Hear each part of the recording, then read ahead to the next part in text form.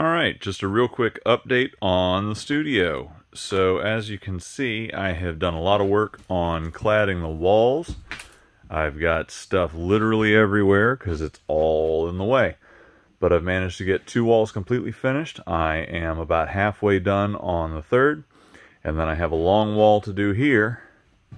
And I'll have all the walls done. Once the walls are done, then I'll put the ceiling up.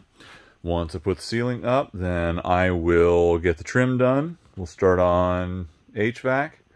And now to address comments from my first video, no, I'm not a professional. I'm just a dude that wanted to do this because it's cheaper for me to do it than hire somebody else. I didn't frame this. I bought the shed from a local company.